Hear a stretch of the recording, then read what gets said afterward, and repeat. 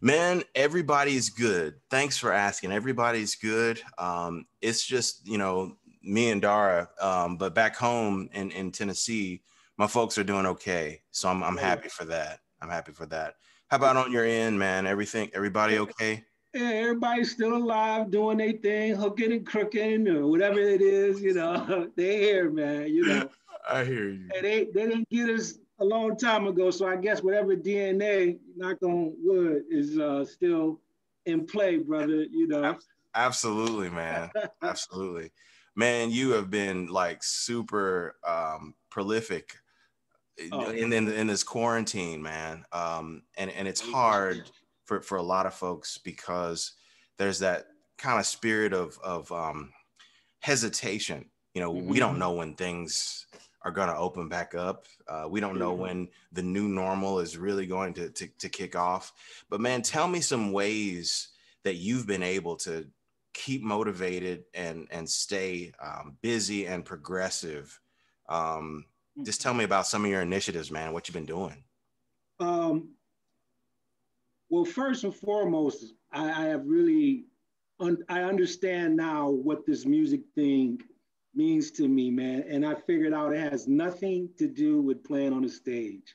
It took me about a few months in wow. the beginning of this shared experience to realize that I had to get back to uh, the why, you know, okay. like really reinforce that. And uh, the why for me is uh, is expression, you know, like we just talked about complaining or whatnot and letting it out. Well, originally, man, I, I didn't talk this much when I was younger. I talk more now than ever in my life.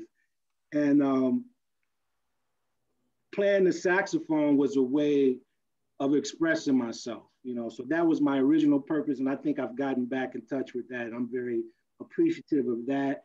It's made me appreciative of the fact that uh, we have this vehicle to talk. Whereas and, and say things maybe that's not well that's definitely not understood when you have notes but the intent behind it um, the why behind it is important and I, I got back in touch with that i had to do that if i didn't do that i would have really went bonkers you know, you know so that's sure. number one sure you know? mm-hmm. uh, number two is uh, again fellowship with our with our brothers and sisters however they want to be called they he she and all of the above. Uh, I've really gotten a chance to uh, really get to know some old friends in another kind of way because mm. we all weren't gigging. So, you know, you, you couldn't front be like, yeah, man, I'm I'm going off to Europe for six months or I'm doing this right. Nobody could front. It was just right. like, yo, we all got this this thing in common. So mm. I got a chance to really uh, learn who my friends and who my tribe, what the tribe is. And it's a, it's a very small tribe. I know a lot of people, but there's a few people, you, yourself included, that I find myself being honest and I feel comfortable to reveal who I am. You know, because I got the high cheekbones. So a lot of people think, oh, this brother's just mad, but I'm not always mad. You know, there, there's a method to the madness. And I, and, I, and I find myself smiling more because we had to learn how to smile with our eyes because of this mask situation. Yeah. yeah. So that included, that meant that uh, there was an opportunity to reach out to a lot of people all over the world and um, first acknowledge this shared experience of not working and watching the uh, the venues unfortunately unfortunately close and some in some countries like uh, the UK we, we were watching Brexit take its effect on just performing creative musicianship. Mm-hmm. And so that that was the gateway into uh, making new friends, you know. And I, I, have to say, man, I've made a lot of new friends and a lot of new alliances, and I have newfound respect for people that I I had, had admired from afar. But uh, the bright side, if there is a bright side of this situation, uh, of COVID has allowed for people to kind of let their guards down, and for me included to let my guard down and say, hey, you know, like Marvin Gaye saying, what's going on? What's, what's happening, brother? What's happening, sister? sure. so that's beautiful, yeah. you know, and I think it's allowed us to build a uh, an infrastructure of uh, and an alliance of friendship and an agree and, and a lot of agreements as to what's we're going to do going forward because now we could say pre-COVID it was one situation. And now as uh, and, and I have to always say that you know that after COVID would be another situation. And if history serves correct if we don't come together and say we're going to work together uh, irre- irregardless of styles and old or new or ageism or uh, whatever you know people want to say well this is hot this isn't or this guy is post that doesn't matter to a lot of us anymore what matters now is the culture mm-hmm. uh, and that includes people who don't look like us because it's a part of their culture also so though, there are inroads to our brothers and sisters on one and three too so the culture is first the love of the craft and uh, going forward, I, I, I, can say honestly, there's definitely about 30 to 40 people that's like, yo, we in, we, we are one. So uh, keeping that thing together is uh, almost as important as uh, learning my skills correctly at this point. And I, I, have a new passion in life, man. You know, so I'm, I'm happy for the fourth or fifth win that uh, this crazy situation has given me. So uh, that that's that's where I'm at at the moment. You know.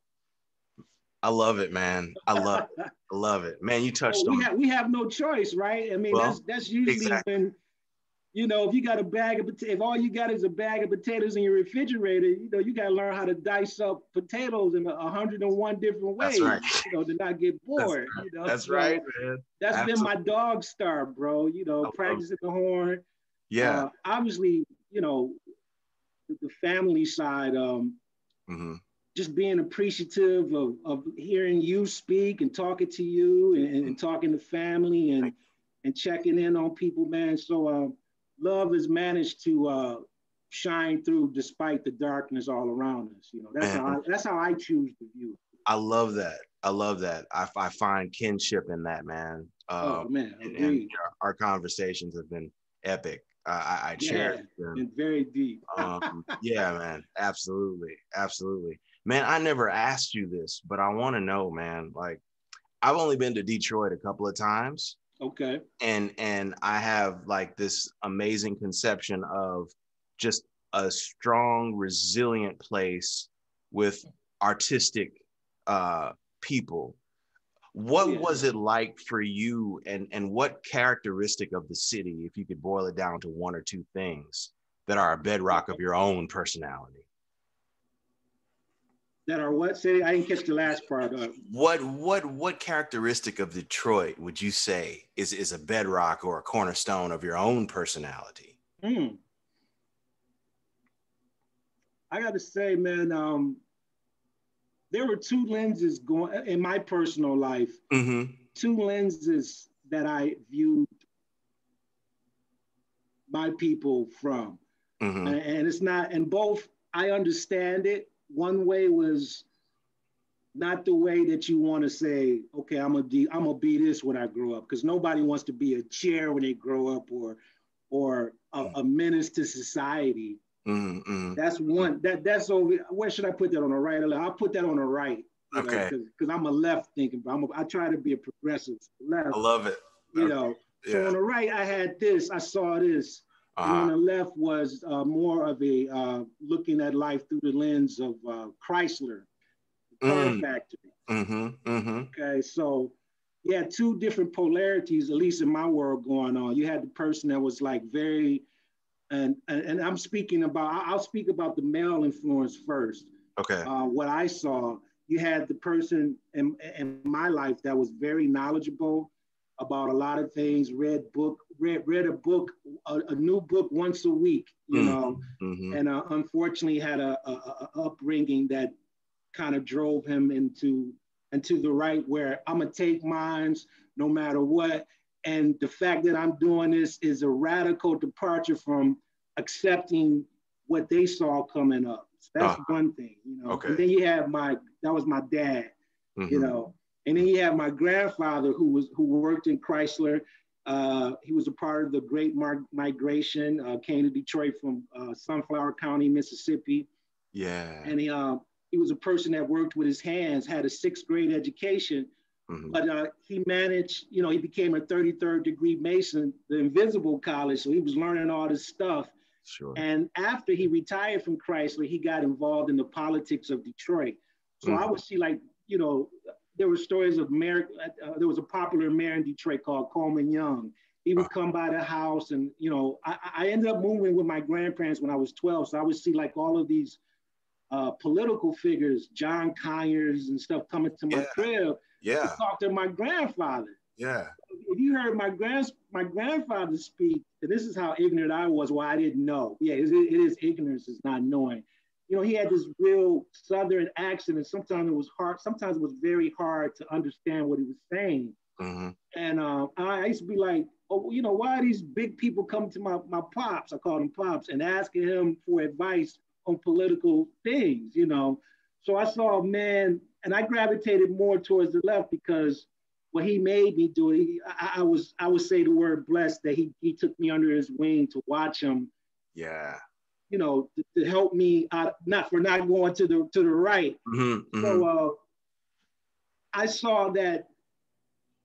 Well, the, the common thread between the two was my dad taught me. He said, "Look, Mm-hmm. He didn't teach me much, man, but he said if you know how to, if you can read, you can do anything. Mm. That was his philosophy. He said, you know, the, the fact that you're reading, you can inform yourself. So they both had that shared thing, but I saw my grandfather put it towards a positive situation, you know, with a sixth mm-hmm. grade education, but yeah. he had this brilliant mind. And when I was in high school, I got in trouble, and uh, this is important to me. This this, this uh-huh. changed my life. He mm-hmm. went up to the high school and talked to the principal. And when, when he was done with the meeting, the principal came out and said, okay, so your grandfather is going to give a speech to the high school. And I got, I was like, oh, damn, you know, nobody wants to be a country bumpkin in Detroit. I was like, and I loved it, but I was just like, you know, you when you're a teenager, you your parents or you you be like, you don't want everybody to see what's up. I said they gonna mm-hmm. laugh at him, mm-hmm. and uh, my grandfather put his teeth in. He he spoke in front of like four or five hundred kids. I was sitting there like, oh man, man, what came out of his mouth, uh-huh. it, it, changed my life, man. So never judge a book by its cover, and that's been yeah. my ethos in terms of like, you know, and, and, and my take on it is never let people find you the way they found you. Mm-hmm. So that's that's that's me coming up in that, you know. So mm-hmm. I, I, I I challenge with the I, I'm always battling with, you know, I'm at the get it side no matter what versus yep. let me be a diplomat. And, and I, I, think I try to play like that, you know, like and, and the only way I can link that up with how that inspired me was um a good friend of ours, Eric Reeves, he said something. He said, you know, there's two lines in this music business. There's the long line mm-hmm. and the short line. Mm-hmm. Everybody is in the long line. You want to go towards the popular or whatever, but not a lot of people are in the short line. But that's the line that that matters. And when you leave this world, that's that's where your legacy is. Does that make sense? What I'm saying? Absolutely, or, or absolutely, okay. man. That's great. That's, that's, me in a nutshell. You know, these two different it. worlds. You know, but they were both good at it. Like my, uh-huh. my father, what he did, you know, he was he was uh, you know, you know, if it was a third world world country, and if he was a revolutionary, he'd be they'd probably make a statue for him. But you know, we're in America and you can't do things like I hear you. right sure. I hear you, man. But I, I respect him. I, have grown yeah. to respect his take on it. I just I just can't yeah. take that route because I don't want nobody telling me what time I I got to go to bed and what time I got to get up. If you know what I mean. I understand. I understand, man. I understand. But I that's pick music instead of the gun, you know. Yeah, yeah, man. Yeah. I think the world should be appreciative of that. hey, hey, man, I hear you. I hear you, man. But hey. that's that's just a that's a beautiful uh take and a beautiful uh if I can say uh ferociousness. There's an intensity in your music that hit me when I first heard you. Oh, that's what I connected to. And it's awesome to know the the backstory of, of, of a lot of that, man. Um, but I, I, have to say because of my, my aunt, sister, mm-hmm. aunt, sister, mother, Monica Ross is uh, if I don't give it up to them because yeah, you know, I had these two male different figures in my life, mm-hmm. but I have a lot of women in my mm-hmm. I grew up and and, and um, mm-hmm. like a lot of like a lot of people, you know, um, they raised me. I mean, they they pushed me towards like, yeah, you can do this music thing. I believe in you, even if the world doesn't. Mm-hmm. And sometimes that's great, and sometimes that that's bad because you need somebody to tell you when you're screwing up. And fortunately, in my life, I have a, a, a beautiful aunt who's been a mother figure, a sister figure yeah. to me, who introduced yeah. me to uh, jazz and improvising. So Oh, that's awesome. Yeah, I got these two polarities, but in between, man, is are these amazing black women that just. Hey, I wouldn't be here if it, if it, wasn't for their their grace and just love and strength, you know. Mm-hmm. So it, yeah, it, it, takes a lot of people to make us, right? that's the truth. That's the truth, man. That's yeah. the truth. Yeah, that's that's that's incredible, man. Like, um, it's it's interesting. You you said just that she introduced you to the music Mm-hmm. Did you did you have a moment when you decided in yourself, hey man, I'm gonna give this thing a go as a career. I think I have what it takes, or I can get with people who can give me mm. what it what it takes. Did you have kind of an aha moment? Did the light bulb come on, or was it a progression? Well, it was definitely a progression. I have to mm-hmm. say, um, I think people believed it more than me. Now mm. looking back, I mm. have to give credit. Obviously, I gave credit to my um my aunt. Um, my mom played a big role in it because she was a singer and we used to sing, but I couldn't sing. I mean, I wouldn't. I sing in the bathroom and at home, but I don't go yeah. out singing. But mm. you know, so it, it, was. I was always in the Motown is there. You know, so it was always some music, and everybody could sing. Yeah. I mean, I used to. I remember growing up, man, seeing cats outside. I caught a little bit of those cats standing outside harmonizing okay. and, okay. and falsetto. I, I, caught a little bit of okay. that. So it was it was everywhere. Everybody for some damn reason could sing in Detroit. I don't know what the hell was going on, but I saw that. Uh, uh, but I, I, did it because that's all I could do. You know, I, as far as I, I knew. I mean, I wanted to be a boxer at one time. I said, yeah, I could definitely hit hit some cats. You know, mm-hmm, but I'm mm-hmm. fortunate mm-hmm. enough that changed. Mm-hmm. But the mm-hmm. aha moment was uh, it was two. Okay. Uh, James Carter took me to see my first, very first jazz performance. Okay. Um, I went to see Sun Ra and his orchestra came to Detroit. Yo, wow. Yeah, yeah. Was Sun Ra still alive at no, the time? Yeah, he, he was alive. I met okay. him. Wow. I was about I was about uh stop stop there. Stop there. Yeah, you met, met Sun Ra twice. How oh, tell you gotta tell you gotta unpack that man. I gotta oh, know about that. How, well, how was so, he? Oh man, well when I met him, he had these like elf shoes on there. Yeah. And you know everybody knew James Carter. He's, he's been famous forever. Mm-hmm. So he said, mm-hmm. man, you know I'm, I'm you know I, I, we I went to the same high school he went, and unfortunately enough, uh, at that time I think our high school, Northwestern in Detroit, had the best jazz band in the country at that point. Mm-hmm. You know, mm-hmm. late '80s. So a lot of the uh, alumni would come up out of pride to help out with the band. At that time, right. it was a the band teacher was a great band teacher by the name of Ernie Ernest Rogers. So mm-hmm. uh, I was the, the tenor player that was going to replace James Carter. So James took, wow. took me under James wow. Carter and Alex Harding, great baritone saxophonist.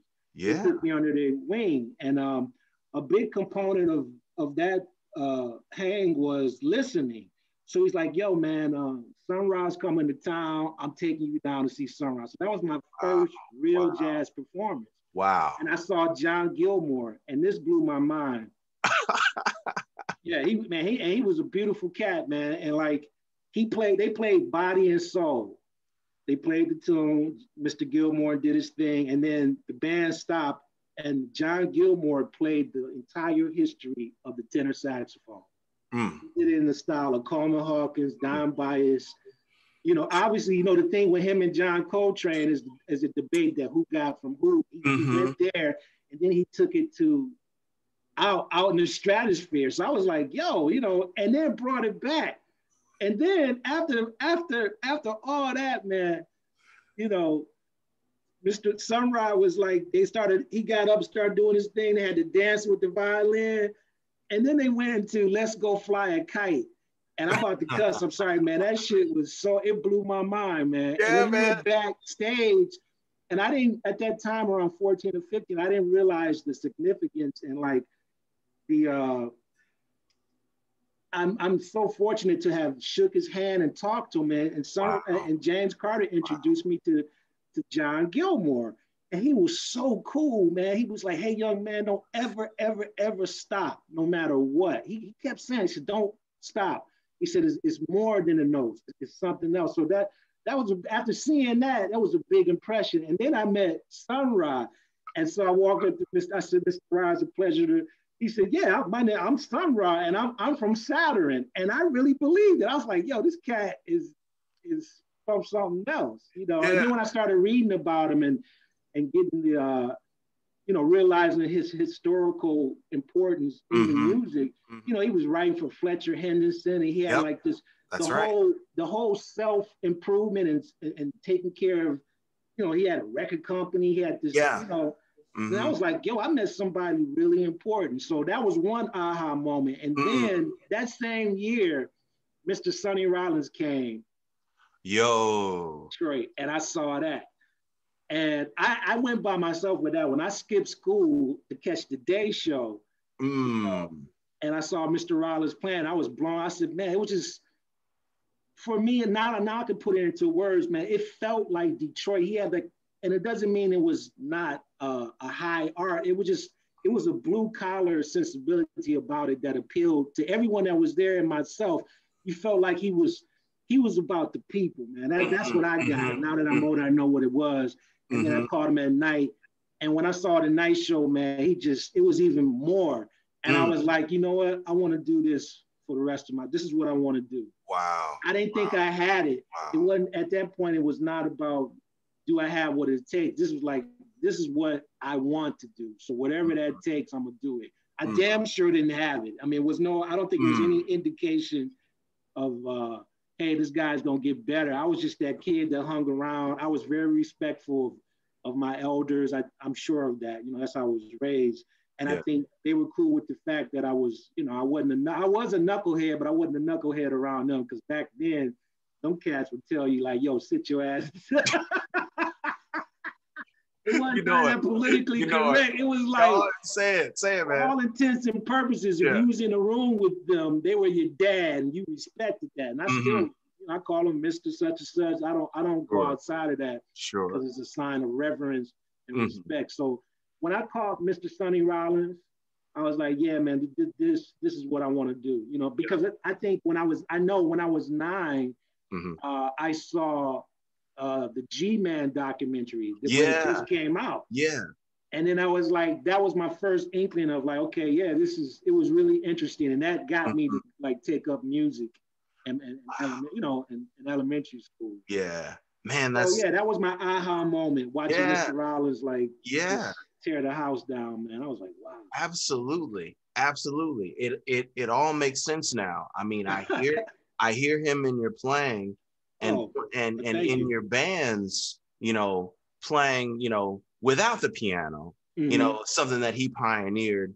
Definitely. You'd say, yeah, man, JD is in the lineage of that. But again, in your attack and approach, it makes sense that Sonny Rollins was a like a, a, a pivotal, crucial early influence, and you got oh, to yeah, see yeah. him. You know, you, you really hear that attack and, and intensity again, intensity in your sound, the same the same kind of thing that he had. Well, I mean, well, I, I you know, yeah, I mean, of course, I went through. I mean, and and I still.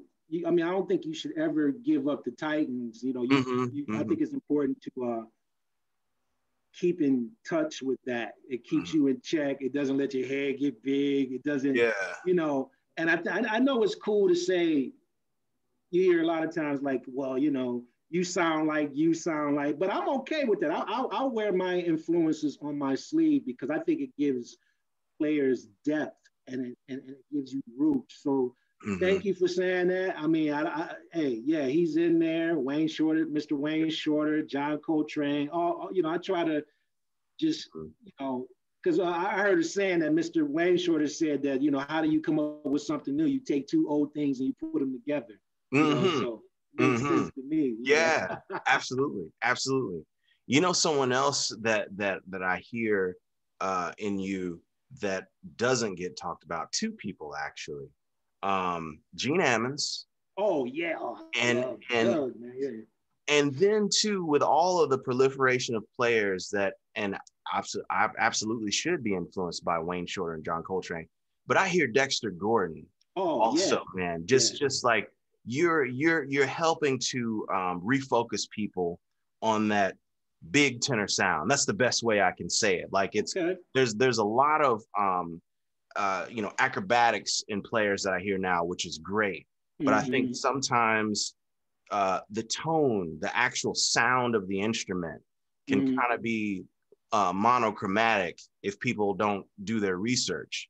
But yeah, I feel true. like I hear that that Gene Ammons and, and Dexter Gordon like influence in in your oh, yeah you, you you're right. I mean that's what and i can almost say that about because in my opinion detroit is a tenor saxophone town man. I mean mm-hmm. there's, there's, there's about mm-hmm. 10 cats that you haven't heard about yet okay. but you will.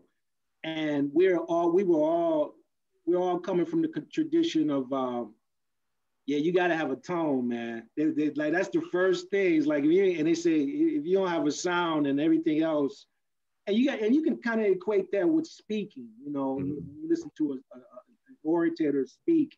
Yeah. You know, if the voice is, isn't commanding, a mm-hmm. lot of times the words go go by the wayside. So yeah, yeah. tone is important. So that yeah. that was impressed upon. That's impressed upon most tenor players coming out of Detroit, even to this day. Yeah. Sound that's, is number one. That's awesome, man. That's awesome. Yeah. Man, I, I, tell you another time you shook me up. It was about maybe four years ago. Uh, you had a run of albums with um, Graffiti and Americana.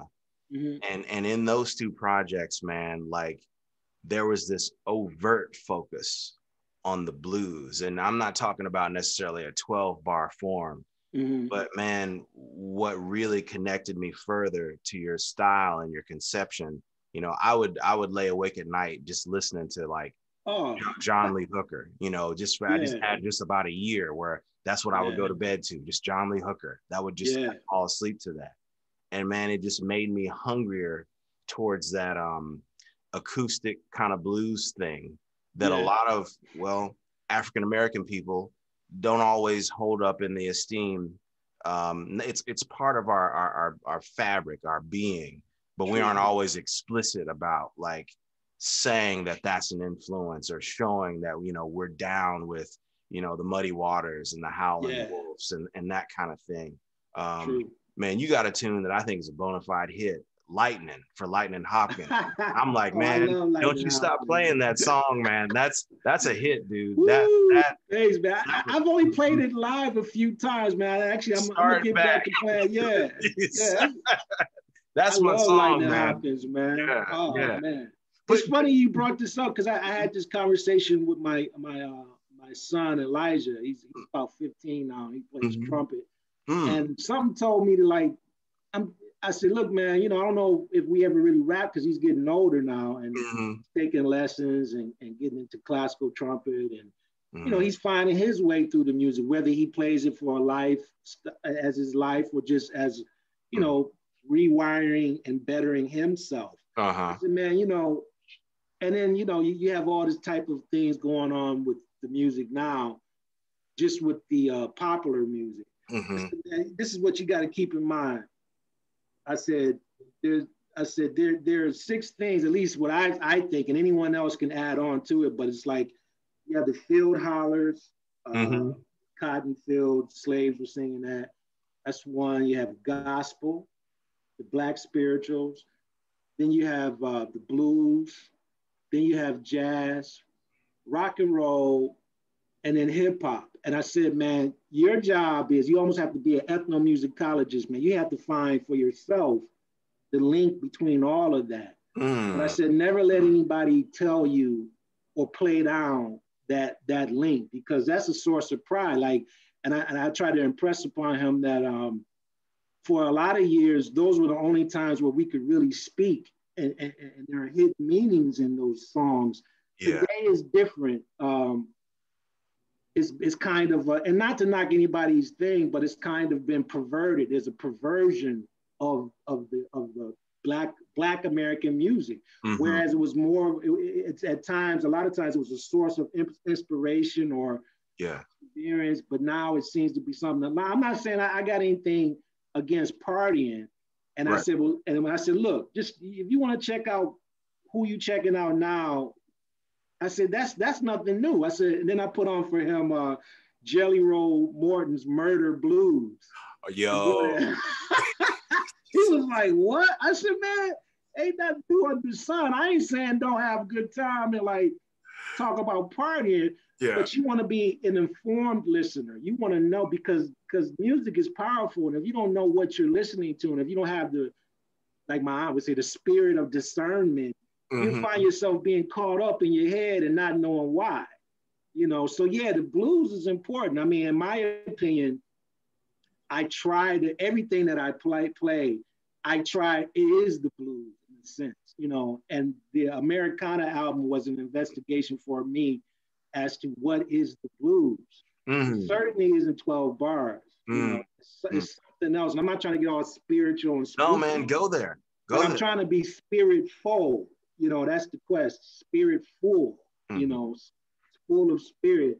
And that was my investigation into um, different forms. And at, at that point in time, like I really sat down and said, let me check out uh, the blues situation. And then I, I, learned, man, there's a language in that.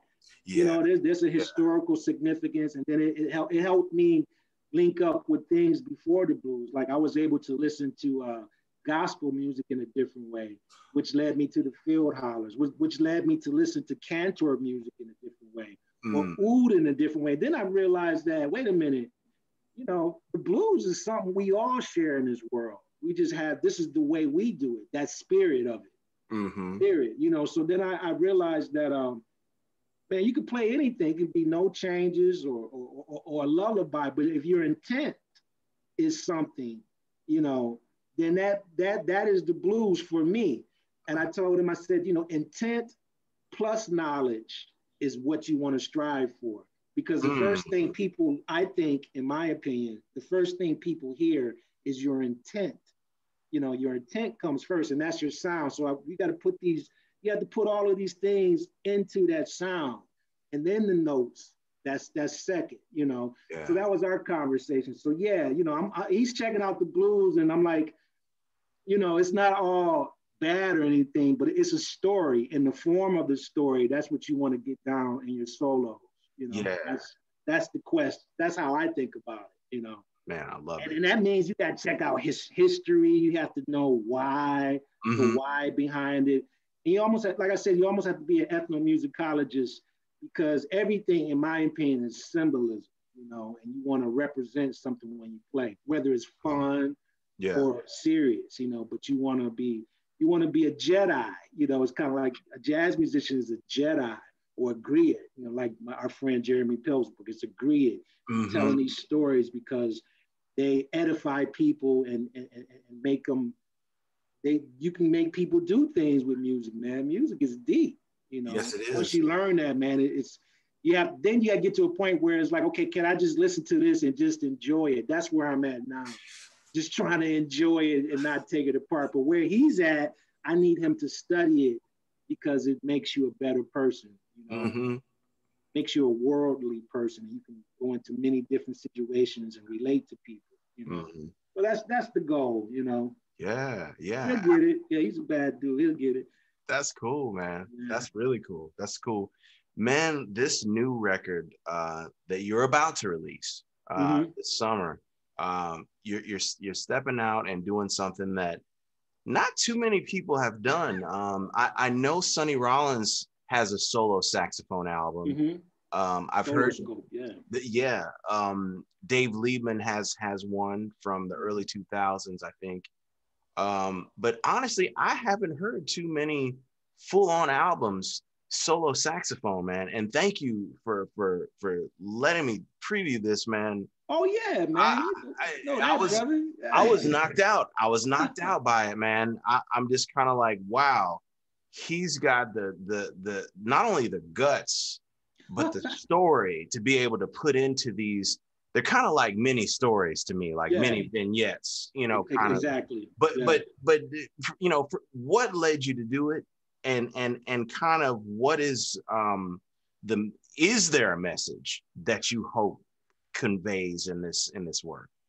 Definitely. Um, I have to give what kind of gave me the inkling to try it mm-hmm. uh, I checked out um, Branford Marsalis's um, solo album called Solitude. Okay. And um, I I listened to solo saxophone a little bit, but I had not I, I didn't check it as much as I did as of late.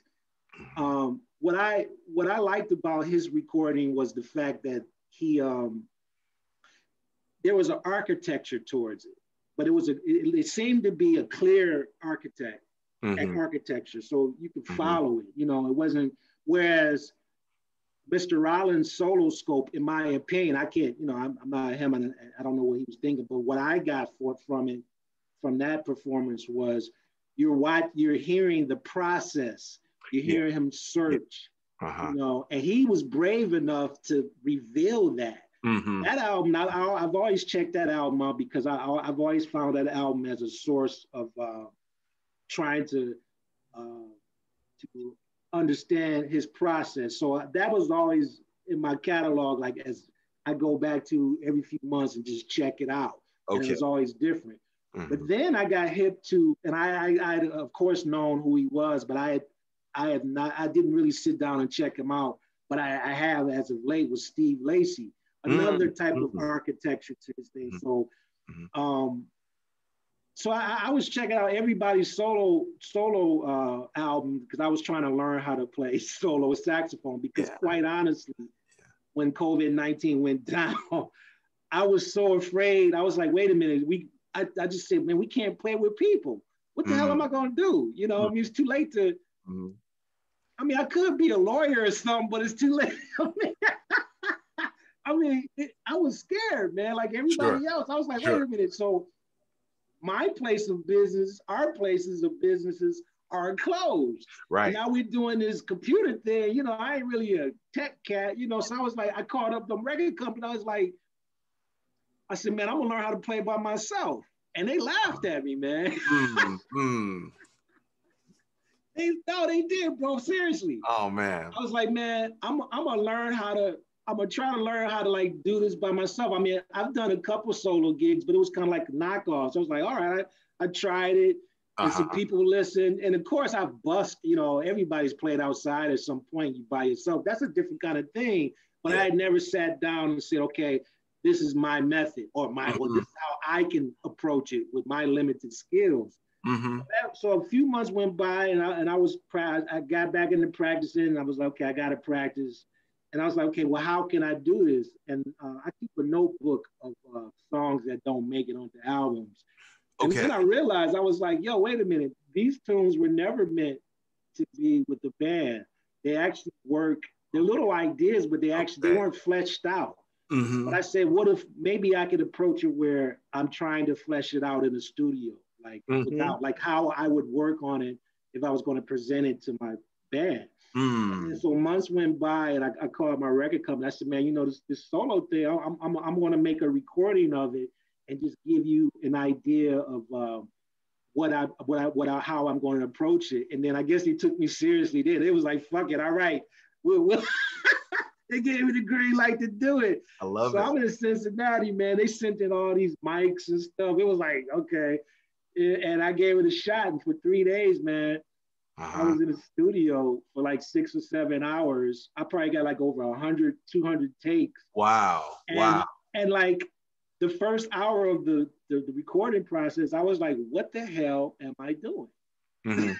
because mm-hmm. I heard all of my flaws, man. And I was so used to um, lat or, or, or, or, linking up with someone behind me or trying to like have mm-hmm. this uh, connection with mm-hmm. band members. And it was just me. So that was the first day. It was a disaster. And I was like, damn, you know, they put this money into it and, and I'm gonna fail. And everybody going every, everybody's gonna know that I'm a fake. no, no. Jig is up, you know, I was like, you gonna hear all my flaws. So the second day I was like, I had to cool down. I was like, okay, wait a minute. This this was eye-opening for me. It was like uh the room is my band. Mm, mm. Okay. Okay. And this light came. I was like, and, and, and I kind of like peeped that with Branford's album on, on Solitude, and I, I, talked to him about it. I was like, you know, he was talking about how he worked the room, so I had to go into my memory banks of, of badass people who gave me tips. Mm-hmm. And I said, okay, well, let me let me check out where I am. And when I did that, um, I got comfortable mm. and I, I had to accept, and for lack of a better phrase, I had to love myself, imperfections and all. I had to I had to accept myself wherever I was at at this moment. This is where I'm at, where I'm at. And again, it was not really about the notes. What it was really about, what I found out was me preparing for this album and and and, and um, trying to amass material and listening and, and reading and questioning. Mm-hmm. Um, it kept me going through the first year of this madness, man. It gave me something to do every day, despite not having a gig, you know. So that was my dog start, man. It was like, okay, well, that's this is what it's about. So it doesn't matter if people like it or not. I hope they do, but what it's about is I'm gonna cuss again. I'm doing this shit no matter what.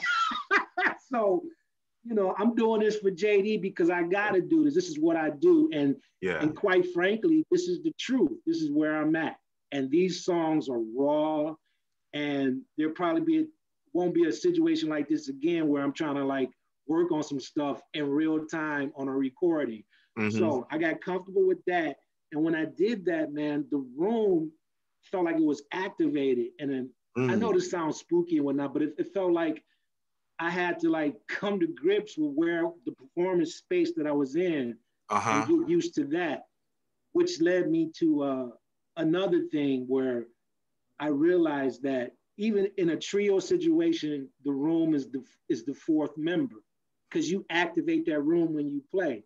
The yeah. people activated with you, so you know it's a part of the band. So when I did that, I, my heart rate slowed down and I was less scared. And I was like, okay, well, this is this is the experience in real time, and yeah, I'm revealing myself, but that's okay because I'm doing it for a purpose that I need to do it to survive. So hopefully this will be a flashlight for someone else that uh, it really ain't about the notes. It is about the notes, but it's really about your intent. And that was my intent. And I'm, I'm happy that someone allowed, well, not allowed me, but, you know, assisted me in recording this. Uh, am I scared what people going to say? I, am I'm, I'm thinking like they might tear it to shreds, but mm. it's okay. The purpose was for something else. And I heard all of my flaws and what I need to work on, and I'm, I'm just sharing it with the world, man. It, It's an honest statement. Uh, you know, it's honest. Because I have no gimmicks. I just got that damn saxophone and my flaws, and it was like, hey, life give you lemons, bro. You know what to make. You know, that's that's my lemonade, bro. I love it, man. I love it, man. Oh man. Well, man, it, it's it's been a pleasure. I'll get you to hang on here for just a second, man. Sure. But thanks for staying up with me, man. I, I really yeah, brother. Yeah, man. You know, yeah. hey, man. It's just uh, we got to do what we got to do, man. But that's the story of our lives, right? You know, hook a crook, bro. That's it. You know, survival.